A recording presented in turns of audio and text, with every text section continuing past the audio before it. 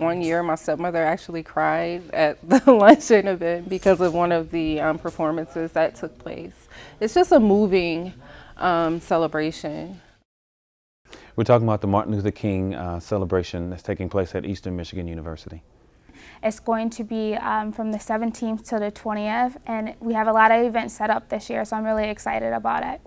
Six days, uh, we have 13 plus events that are going on uh, throughout those days that give students, faculty, administrators, people from the community, um, both in the Southeast Michigan area and other places, to come and, and get together in, in various capacities to celebrate his legacy. Well, what I'm most excited about being from Detroit, um, every year we show a video, and the video this year is Detroitopia. And what it is, it's going to focus on some issues that Detroit has, but it's going to talk about how those same issues are issues that are faced in America today. So after we show the video, we have a panel, and there's going to be a discussion on the issues. But the luncheon is, is a huge commitment by the university to bring in a high profile speaker that's able to, to speak to issues of social justice and community development. Well, the number one thing that's exciting to me is the fact that Tim Wise um, is the keynote speaker.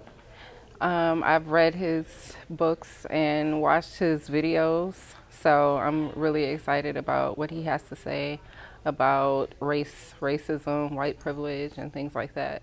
We're one of one of the few, if not only, um, large universities in the country that has a major uh, sporting event that is dedicated specifically to the Martin to their Martin Luther King celebration. So we're very proud of that, um, and it's not just play the game and and show a clip at, during halftime. I mean, there are going to be student performances. There are going to be recognition of people throughout the university community, um, and then an opportunity for people to really sit in silence and and reflect on exactly what his legacy legacy means to them.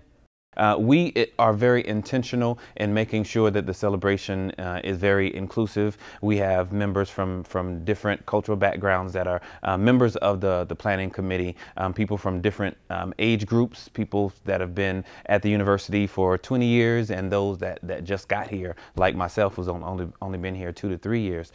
Well, one thing for sure, I want them to know that anybody can celebrate MLK Week, not just African American students. So that was our goal this year to really create events events that will um, reach out and that will be of interest to a good diversity or a good different amount of students because we wanted everyone to feel like they could participate. Um, but overall, I wanted, I think that we wanted them to reflect back on the message that uh, Martin Luther King was really trying to send to us and um, for us to appreciate one another and appreciate our education, appreciate all the opportunities that we have because of him.